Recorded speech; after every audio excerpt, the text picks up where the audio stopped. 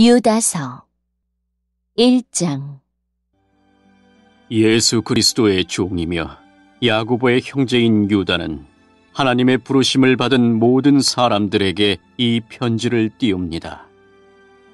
이제껏 예수 그리스도 안에서 여러분을 안전하게 돌보아 주신 하나님께서 지금 이 순간에도 여러분을 사랑하고 계십니다.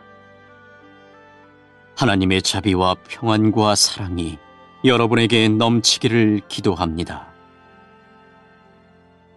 사랑하는 친구들이여, 나는 우리 모두가 함께 누리고 있는 구원에 관해 여러분에게 편지 쓰기를 간절히 원했습니다. 그러나 이제는 여러분에게 편지를 써야 할 다른 이유가 생겼습니다. 그것은 하나님께서 그의 귀한 백성에게 주신 믿음을 여러분이 굳게 지키라는 것입니다. 하나님께서는 이 믿음을 한 번 주셨고 또 그것은 한 번으로 영원한 것이 되는 것입니다. 몇몇 사람들이 몰래 여러분 가운데 들어왔고 그들은 자기들이 한 짓 때문에 벌을 받게 될 것입니다. 이런 사람에 관해서는 옛 예언자들이 오래전에 기록해 놓았습니다.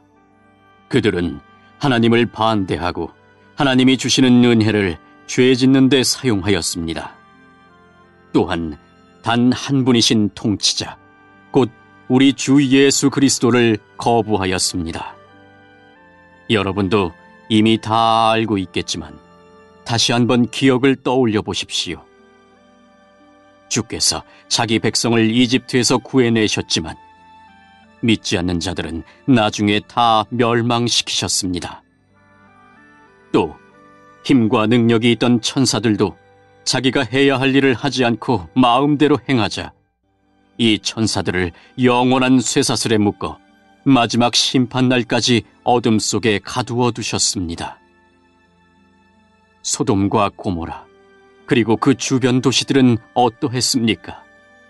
그들 역시 하나님께 순종하지 않은 천사들처럼 행했고 온 마을이 성적인 죄로 뒤덮여 있었습니다. 그래서 그들은 다음 세대를 위한 본보기로 영원한 불의 심판을 받게 되었습니다. 여러분 가운데 들어온 사람들도 마찬가지입니다. 그들은 꿈에 의해 인도함을 받고 있으며 죄로 자신의 몸을 더럽히고 있습니다. 하나님의 권위를 무시하고 영광스런 천사들에 대해 나쁜 말을 해댑니다. 천사들 가운데 최고로 높은 미가엘도 이렇게까지는 하지 못했습니다. 누가 모세의 시체를 가져갈 것인지 마귀와 논쟁하면서 미가엘은 마귀에게조차 욕하지 않았고 비난하지 않았습니다. 단지 주님께서 내게 벌을 내리실 것이다 라고만 하였습니다. 그러나 이 사람들은 알지도 못하면서 욕을 해대고 있습니다. 조그마한 것을 가지고 아는 척하며 말 못하는 짐승과 같이 이성이 아닌 감정과 본능으로만 판단합니다. 그들은 바로 그것 때문에 멸망당할 것입니다. 그들에게는 불행이 닥칠 것입니다. 그들은 가인이 간 길을 따라갔고 돈의 눈이 어두워 발람처럼 나쁜 일을 저질렀으며 고라처럼 하나님을 거역하였습니다. 그들은 고라처럼 죽고 말 것입니다. 이들은 여러분이 하나님의 사랑으로 함께 나누는 귀한 만찬에 끼어든 더러운 흠집과도 같은 자들입니다. 마음대로 먹고 마시며 아무도 개의치 않고 자신들의 이익을 채우기에만 급급합니다.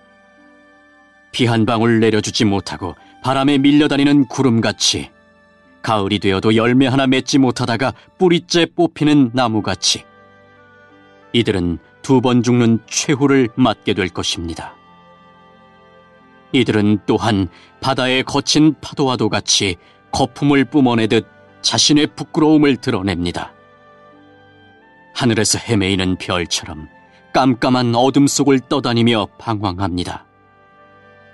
아담의 칠대 후손인 에녹은 이러한 사람들에 대해 다음과 같이 예언하였습니다. 주님께서 수많은 거룩한 천사들을 거느리고 곧 오실 것이다. 오셔서 각 사람을 심판하시고 하나님을 거역한 자들에게 벌을 내리실 것이다.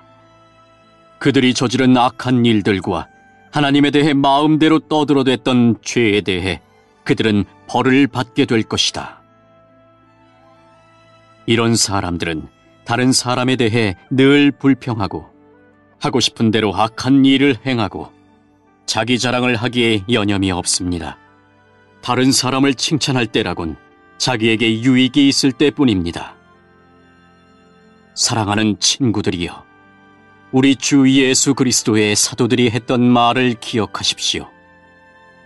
그들이 말하기를 마지막 때가 되면 하나님을 비웃고 거역하며 제멋대로 행동하는 사람들이 있을 것이다 라고 하였습니다.